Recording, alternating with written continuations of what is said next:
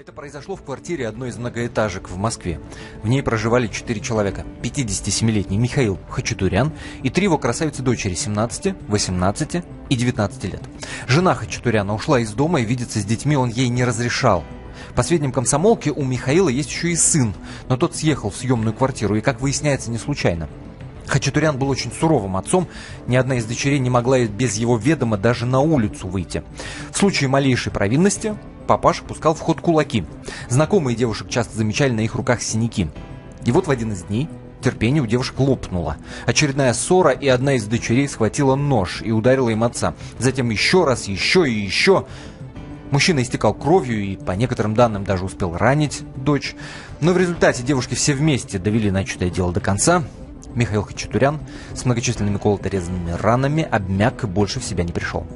Убили своего отца, и сейчас говорят, выбора не было. Или мы его, или он нас. Все ли так черно-бело в этой жуткой истории? Так ли несчастны были девушки? Можно ли это назвать самообороной? Дадут ли 17, 18 и 19-летним дочерям Хачатуряна пожизненный срок? Кто он вообще такой? Михаил Хачатурян. Обсудим сегодня. Это особый случай. В студии Антона Росланов и Екатерина Белых. Особый случай.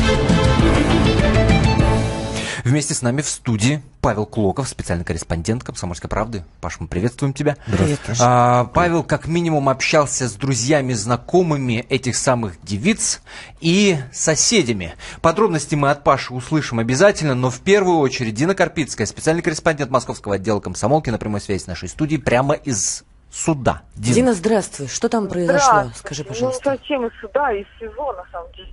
Из ИВС, если даже быть еще точнее, изолятор временного, Временного содержания, содержания. где сейчас находятся все три сестры. Вот а, буквально только что к ним камеры ходили правозащитники из общественно-наблюдательной комиссии.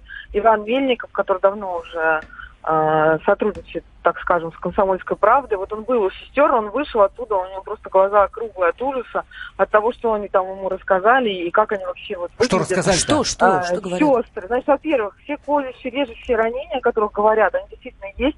Одна сестра вообще не встает а, с кровати, старшая, у нее поранена нога, а, она- ну, у нее там серьезная травма. У средней сестры Ангелины на запястье большой порез. В общем, они выглядят как вот после кровавого Подожди, побоища. Дин, да- давай с самого начала. Э, Стало ли понятно из разговора э, Ивана Мельникова, да, общественника, с этими сестрами, кто в итоге начал эту ссору, потасовку? Он на них напал? Ну, смотрите, э, все три сестры в разных камерах содержатся, это по правилам, они не могут быть вместе. И все три сестры Логично. рассказывали одно и то же.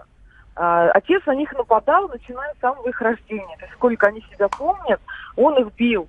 Одна из сестер, Ангелина, она перечислила, например, оружие, которое у них в доме находилось. Дробовик, револьвер, бита, ножи всевозможные, еще какой-то пистолет. И вот отец этими пистолетами, э, их там как указками вот так вот их э, разгонял по квартире.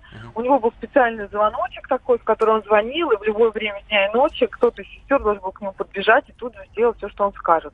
Настолько там был какой-то рабовладельческий строй, что они- он даже окно там не открывал. Вот он вызывал кто, кого-то из дочерей, чтобы они вот, ну, почесали спину, открыли окно, там налили воды. Дина, скажи, А. пожалуйста, а девушки рассказали, как они это сделали? Они описали сам процесс убийства? Вы знаете, э, по правилам членов наблюдательной комиссии по закону они не имеют права расспрашивать э, людей о преступлении, потому что каждое слово, оно может быть использовано или Против за них. них, или против них. И правила запрещают это делать. Они могут рассказать все, что угодно, помимо того, что произошло непосредственно в день преступления. Об этом они будут рассказывать на следственных действиях и научных ставках. То есть Ну, они под подпиской сейчас. Конечно, они Ну, не, не имеют. И конечно. даже если они что-то расскажут, а, то правозащитники не могут это разглашать. Это Дин, скажи, пожалуйста, вот что, вот что в этой истории удивляет, да? все вроде такое черно-белое, да? Отец тиран, отец измывается над ними а, и так далее, так далее. Девочки не выдерживают, убивают его. Они рассказывали, а, да, есть некоторая информация а, о том, что они сами-то, в общем-то, ну, такие, ну, нормальные девчонки, и травку любят покурить, и когда отца не было дома, э, приглашали там парней. А как они могли на это решиться, если знали, что он такой изувер? Я вот это никак понять не могу, сложить у себя в голове. Об этом шла речь вообще? Ну, как они решить могли, наверное, ре- речь будет идти дальше. Сейчас они в шоке находятся, даже не понимают. Вот младшая даже не понимает, что произошло, она вообще в прострации. Но он их держал заперти дома, они не выходили из дома, уж, наверное, они могли любой план там... Ну, я думаю, что Павел. Клоков, который в этой студии нам расскажет подробнее об этом, тогда давайте этот вопрос за скобки, что называется, отправим. А что они говорили о том, чем занимается их отец? Об этом они рассказывали Ивану Ну, Мельникову? Они рассказывали, во-первых, что отец их лечился в психиатрической больнице неоднократно. Буквально месяц назад он вышел с очередной госпитализации. Также они рассказывали, что они много раз в школе просили им помочь, обращались к психологу. Например, вот младшая Мария и Ангелина, они учатся в одном классе, в одиннадцатом. Ну, так получилось, что просто среднюю дочь позже отдали в школу. И вот за этот год они посещали уроки семь раз. Но никто Потому из школы что? ни разу Не выпускал Потому он их? они бы, он их не выпускал из дома, либо они были так сильно побиты, что не могли выйти. А, неловко было в школу ходить с а синяками. старшая сестра, она учится медицинском колледже, она тоже сказала, что она ходила примерно раз в две недели на занятия, а, когда синяки сходили, вот она могла себе позволить сходить. Дина, им какую-то медицинскую помощь оказывают? Они насколько в да, плохом сейчас, состоянии э, сейчас? правозащитники попросили еще раз осмотреть, перевязать, э, поменять эти повязки вот с ранами. Э, Ну, какую-то, да, там, минимальную помощь, которая, возможно, в ВВС, первую помощь им оказывают сейчас. Дин, есть что-то добавить к этому э, рассказу? Ну, добавить только то, что у них нет специалиста, только защитники по назначению. Они абсолютно не готовились даже да, с этой точки зрения, если посмотреть, не, не понимают, Мгм. что происходит, как действовать. а, То есть как, как это у них нет адвоката? Ну, есть по назначению. Ну, назначено. Как так адвокаты. получилось? Бесплатно. А, хорошо, я могу в прямом эфире попросить Андрея Сергеевича Мишонова, представителя White News, э, зайти в дело, собственно, и помочь девочкам. Давайте узнаем за скобками этого эфира, насколько есть необходимость в этом. Дин, скажи, пожалуйста, была информация о том, что Дин отвалилась, да, э, со связью что-то. У нас была информация просто в средствах массовой информации, в том числе и в комсомолке, что По якобы мать приходила э, поддерживать, э, поддерживать девчонок. Я Э, слышал от Их родная Мгм. мать, которая, собственно, из семьи ушла, не смогла жить с этим тираном. Я слышал от соседей, что она приходила в тот день, когда, собственно, полиция приехала на место. И соседка, которая живет через стеночку, мне рассказывала, как она заходит, видит труп, тело, лежащее на лестничной площадке, и жену его бывшую, то есть мать этих девочек, которая сидит на коленях и закрывает руками лицо. Она вызвала полицию. Нет, вызвали сами девочки. Сами девочки, Сами когда, девочки. собственно, поняли, что произошло. Давайте к этой вот картине, которую нам сейчас в эфире пыталась нарисовать Дина Карпицкая, спецкор Московского отдела «Комсомольской правды», мы услышим запись разговора с подругой трех сестер, 17, 18, 19 лет, я напомню им, обсуждаем то, что они убили своего отца, который якобы не давал вот дышать, не давал жить. Ирина зовут подругу, вот что она рассказала. Девочки потихоньку каждая рассказывала свои истории, что у них дома творится, потому что были дни, когда он их из дома выгонял, некуда было идти там ночевать или покушать. У него слишком много денег, слишком много связей. Они боялись, то, что они сейчас пойдут и скажут, а он это как-то замнет, им потом еще хуже от этого будет. Брат не выдержал, потому что когда он жил, ну, его точно так же избивали. Мама она в Москве, она просто съехала в один момент, ну, тоже не выдержала, собрала вещи. Но раньше он, ну, детей не трогал. Он срывал все зло на ней, она даже и подумать не могла, то, что это как-то на детях выльется. Это просто повторялось изо дня в день. Ударил, избил, приставал. Он на себя ангела строил день- у какой-нибудь девочки день рождения. Он э, снимал огромные коттеджи, он нанимал людей, танцевали, пели. И звал он не друзей, вот дочерей, он звал своих друзей, чтобы показать то, что у него есть деньги, как он любит дочек, то, что вот он такой праздник ему устроил. Обещали дать слово, а, собственно, Павлу, э, который общался с соседями. У нас есть запись разговора да, с соседкой этих сестер. Давайте сначала услышим запись, потом Паш ее прокомментирует. Итак, Татьяна, соседка. На меня 2 января, лет пять назад, пистолет с внучкой маленькой. В Милицию обращалась, уголовное дело заводили, потом его прекратили. Безобразно, все жильцы все страдали. Хамил машину прямо к подъезду, хулиган. Страдали все. Подъезд его в страхе был, самый грязный. Потому что там наркоманы всю ночь гуляли. да. Девочки хорошие были все, семья. Он их всех в страхе держал. Это соседка сестер, которые убили отца Да, Михаила. Хачатуряна. Она говорит про наркоманов каких-то. Она говорит про наркоманов. Э, Вообще, вот пообщавшись э, с соседями, я удивился э, над тем, что практически все защищают, исключительно защищают девочек. Несмотря на то, что они совершили, Все стоят на ее, на ее защиту и даже собирают подписи сейчас, чтобы Ну, защищают как? И по делам этому козлу? Или что? Как, Вот именно так и говорят. Вот именно так и говорят. Они говорят, что девочки были чуть ли не примерные, вели себя хорошо. Ну да, бывали какие-то вечеринки, ну да, покуривали. Ну, сейчас Ну, молодежь- 18 лет, это объяснимо. Да, да. То есть они хотели быть и хотят, наверное, быть такими, как их сверстники, и вести активную молодежную жизнь, скажем так, а не сидеть дома в заперти, как рабыни. А по поводу наркотиков, также все соседи мне сказали, что он ими торговал. Причем он ими торговал почти открыто. Там недалеко от дома есть магазинчик, э, как-то они его прозвали, по-моему, то ли таблетка, то ли как, как называют его, он такой круглый. Он ставил возле этого магазина машину и, как рыбы на рынке, стоял, торговал. Можно было заметить и замечали не раз, как к нему подходили люди, они садились в машину, чем-то обменивались. То есть он, скорее всего, брал деньги, давал наркотики. И при этом был состоятельным человеком, да, я правильно понимаю? При этом был очень состоятельным человеком. Подруги рассказывали, подруги этих э, девочек рассказывали, что как-то он их привез э, в ЦУМ и сказал, берите, что хотите. Они набрали целые пакеты. Сумочки, одежда, обувь, косметика. Представляете, да, сколько это стоит на троих девочек? И, кстати, на фотографиях видно, Ну, что речь они... идет о сотнях тысяч Да, рублей. да, вот такие деньги. Причем официально он не работал. Он лечился, как Дина сказала, в психиатрической больнице. И часто ездил э, по святым местам, особенно в Израиль, какие-то религиозные крупные праздники. И, кстати, в этот момент, когда он уезжал, они устраивали эти вечеринки. И соседка, которая живет за стеной, об этом рассказала. Но- Слушайте, если, да. если бы мне э, отец прислал в мессенджер то сообщение, которое мы сейчас с вами услышим, я бы не то что вечеринки, когда его дома нет, не устраивал, я бы вообще ходил по струнке и боялся бы за свою жизнь. Мне кажется, это просто у нас ушел есть, бы у нас-. И- и мне так или, или кажется. сбежал, Сбежал или бы. сбежал бы, как это сделал, собственно, Если сын в э, 19, Михаила в 19 Хачатуряна. лет почему Просто не уйти? послал бы все, Взрослый да, человек уже. так, с матерком с таким, да, и сказал бы, идите. Но они были Давайте запуганы. услышим. В нашем распоряжении появилась запись, которую он присылал в мессенджер своим дочерям. Вы сейчас услышите, как он общался с дочерьми, э, собственно, этот Михаил Хачатурян. Внимание. Я твой мама, он уже в комнате, да, был? Он еще не заходил, да, говоришь? Он на улице стоял, да? Давайте хорошему. Я ваша маме я ваша я вашу баругу брата еб... Я ваш проститута тосик мама уеб... А Кристина не могла сунуть которая привозила до этого еще, когда я в отъезде был. Вот теперь Марина застала, сунула, он пихнул сережки своего ебра. Да буду говорить еще много, еще прибавлю.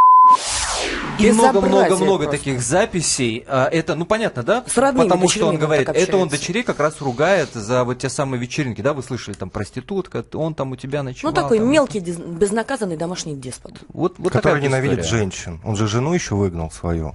А выгнал Ну, или тут сама вопрос ушла? Вот еще, или очень сама ушла. понимаю. Это совпало. Получается, он ее избивал, и в один из таких моментов А, э, сказал, во иди. время ссоры, да, она... Она и воспользовалась шансом, собственно. Э, На прямой связи с нашей студии Артем Гилев, э, врач-психиатр. Э, Артем Андреевич, Да. здравствуйте. Здравствуйте. Я понимаю, что диагнозы стоит ставить в эфире дело неблагодарное. А что вы можете сказать об отце, что вы можете сказать о дочерях? Э, Ну, дочери, как видно, ну, из предоставленной информации, ну, скорее всего, были просто доведены до крайности и это убийство совершили на почве своих таких тяжелых эмоциональных переживаний. Ну вот, э, ну это в любом случае, конечно, будет убийство, но я думаю, примет суд во внимание все особенности этого дела. А насчет отца, ну, по отцу видно, что были особенности личности, возможно, связанные с употреблением каких-то психоактивных веществ, но тут точных данных нет. Вот. э, По Скажи- скажите, данным- пожалуйста, а вот дочери, родной Мгм. отец, они жили в 17, 18, 19 лет, соответственно, бок о бок, что называется.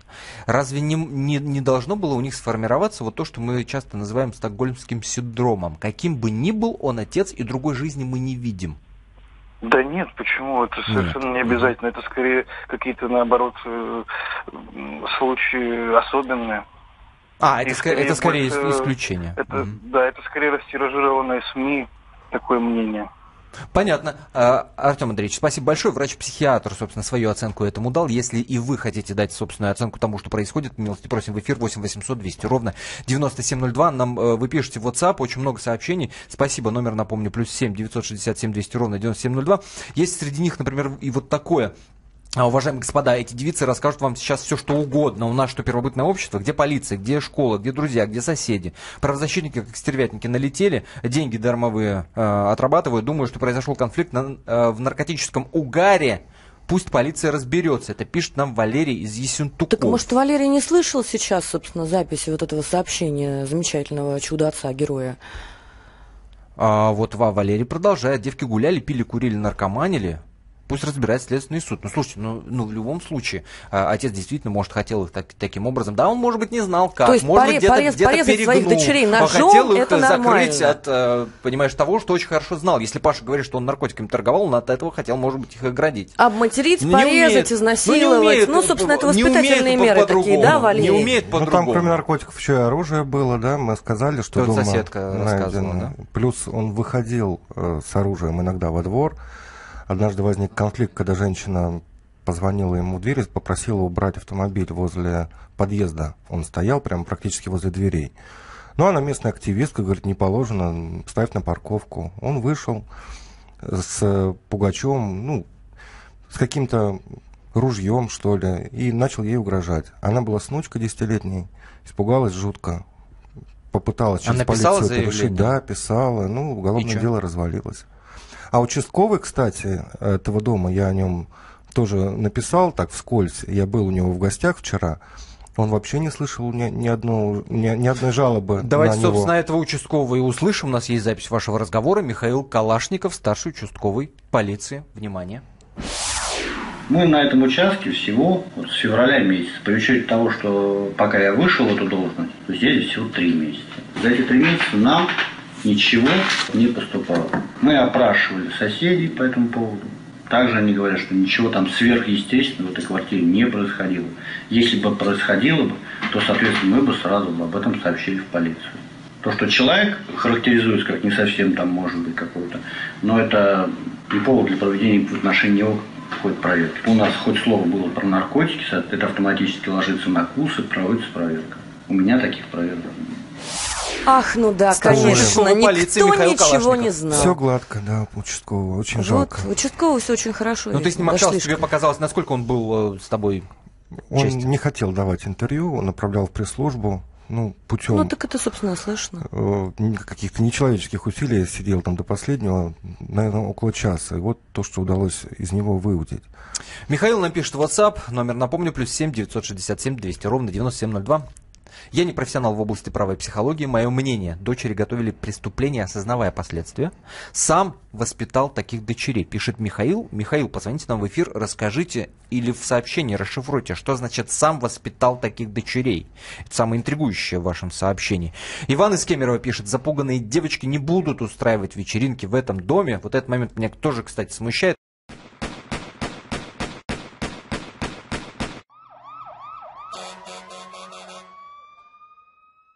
У нас есть первый телефонный звонок. Ольга из Твери нам звонит. Здравствуйте, Ольга. Здравствуйте. Э, Добрый день. Я очень жалею этих девочек, потому что я была все, с рождения, все детство в их шкуре. Э, Родилась в семье садиста и алкоголика. В результате побоев, э, э, значит, моя мама умерла, когда мне было 15 лет от перитонита, потому что он был любитель бить ногами в живот ее. Издевался также надо мной. Постоянно по пьяни, конечно. Ну, то есть А вы поним- вы понимаете, кстати, почему он они меня это не сделали? замечал. У вас есть понимание, почему они это сделали? Вот, это некому было взрослому подсказать, что им нужно было уйти, просто уйти. Как, Потому как сделали вы? Вы ушли? Вы лично. М, По-другому, когда Как? мама умерла в результате побоев его, значит, мне его родной брат помог от него избавиться, от Э, как- отца. каким То образом он был не избавиться? прописан в нашей квартире, и его родной брат э, с помощью милиции буквально помогал мне избавиться. Потому что после смерти мамы он устроил у меня э, харчевню. Подожди, родной брат квартире. выгнал его из этой квартиры, написав заявление в полицию, да, да? ну, с помощью там... Э, и, и что, и все, ну, и он общем, от да. вас отстал, и он в вашей жизни перестал появляться? Нет, он приходил периодически. Я несколько лет боролась с ним в этом плане, потому что у него было свое жилье, но он считал, что э, это его дом тоже. Я ни на что не имею права. А что скрывается за этой общей вашей фразой «я пыталась с ним бороться в этом плане»? Это как? Э, избавиться, чтобы он не ходил, у него есть свое жилье. Просто уговорами? Что хочу. Просто разговорами? Да нет, драками. Мама, когда умерла, бить-то некого было. Он налетал на меня, мне было 15 лет. Ну, то есть мам, мамы хочу... не стало, он стал отрываться на вас? Конечно, и я была и С, и Б, я услышала впервые в жизни, кто я есть на самом деле. И я хочу сказать, что если бы у меня была сестра или брат, наверное, случилось бы то же самое. Мне очень жаль девочек. Некому было подсказать, соберитесь и уйдите. Понимаете? Они не стоят. Ну, ну вот Павел Клоков, да, спасибо, Ольга, спасибо вам большое за этот звонок. Павел Клоков объясняет, что они боялись его, просто это ну какой-то вот э, животный такой страх, животный поэтому страх. не решились, наверное.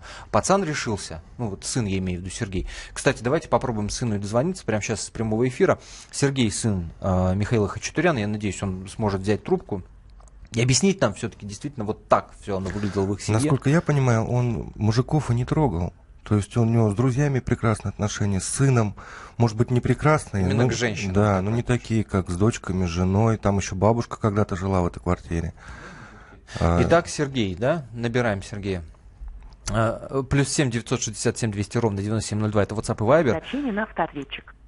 Увы. Недоступен, Сергей. Отключен. Это, это знак того, что за, занят, я не понял, занят или отключен? Занят.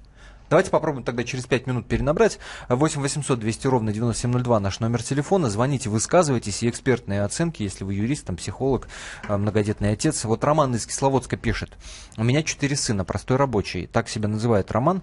А почему школа соседей, мать, брат ничего не предприняли, а теперь осуждаем девочек? К сожалению, у нас начинают размахивать кулаками потом.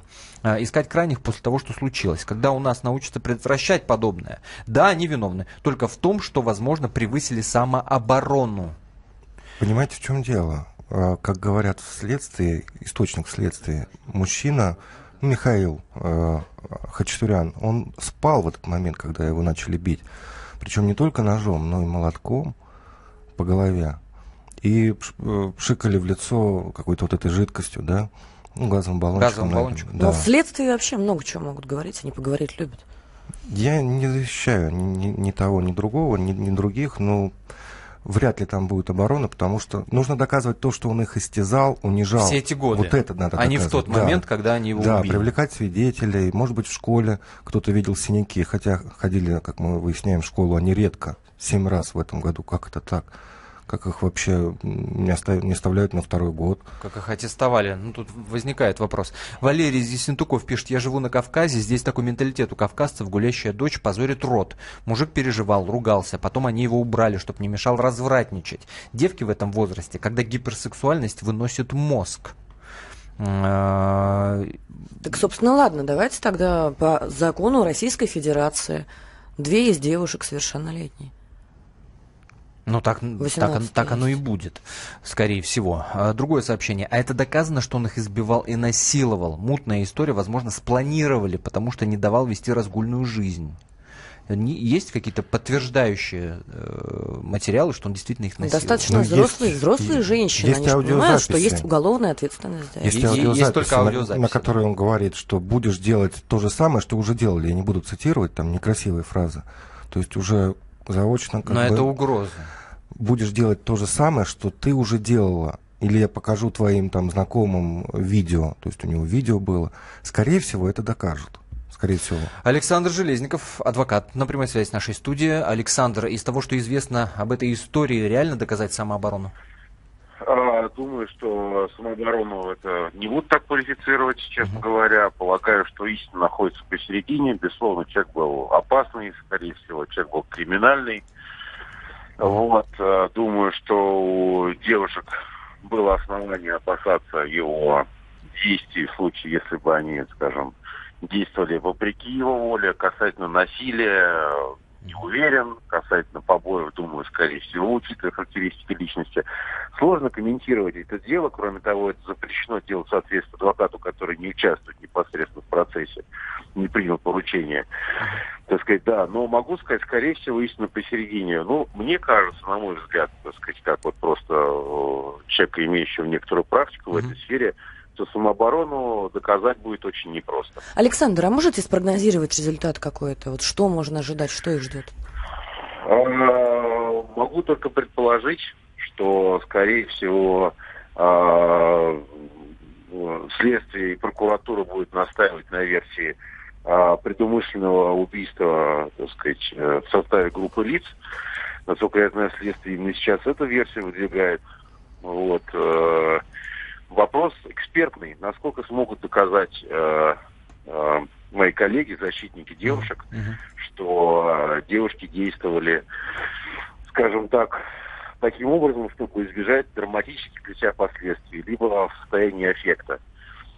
А Ведь Что, по этому говоря, пункту статьи это до, пожи- до пожизненного лишения свободы, да? Ну, пожизненно им в любом случае не грозит. По крайней мере, одной из них она несовершеннолетняя. Кроме того, 17-летняя, женщинам, в принципе, в принципе, э, не применяется пожизненное заключение. Да? Ну, вот 20-летний срок предусматривает закон.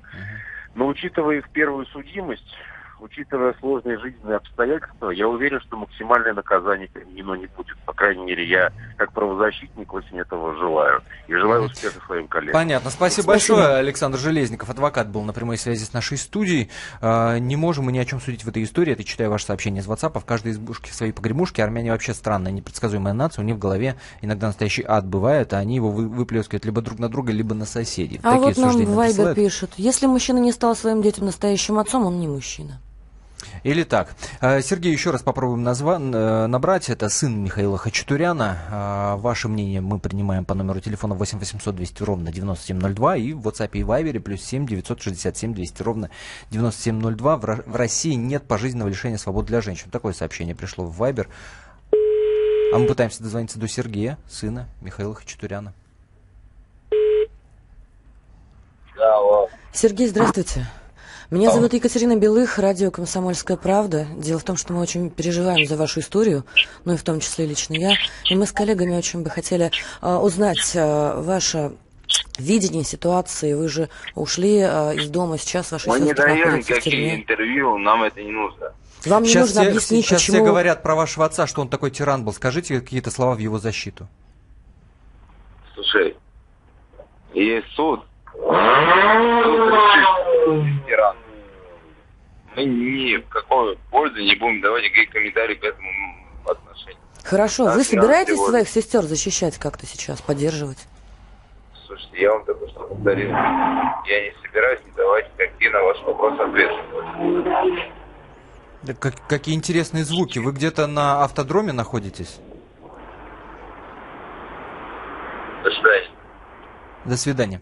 Ну, может быть, Ну, кого-то имеет пилит. право, э, имеет право, Сергей. Меня просто насторожил звук, да, как будто бен- бензопила, Бензопила. какая-то или пилорама Да. какая-то. Мы знаем, где он работает? Может, Нет. это вот как раз с лесообработкой связано. Интересно. Интересно, даже сын не стал защищать своего отца. Ну и сестер тоже не стал Ну, защищать. он мне говорил, когда мы с ним общались э, па- пару дней назад, он мне говорил, что все, что пишут в СМИ про его отца, это неправда. Павел, говорит он, зайдите в- на его страничку в Одноклассники и посмотрите его фотографии. Там действительно ми-ми-ми, он в, в обнимку с известными людьми, в святых местах, с крестом на груди, улыбается, машет рукой. Но очень сложно Никакой судить о человеке агрессии. по странице в Одноклассниках. Сложно. Правда же. Ну, видимо, сын думает, что раз он такой добрый и веселый в Одноклассниках, значит, он такой и в жизни. Ну а почему тогда он ушел из дома? Вот хороший вопрос, сестер. от- ответ на который, собственно. Сергей мог бы дать, но отказался общаться с нами в прямом А эфире.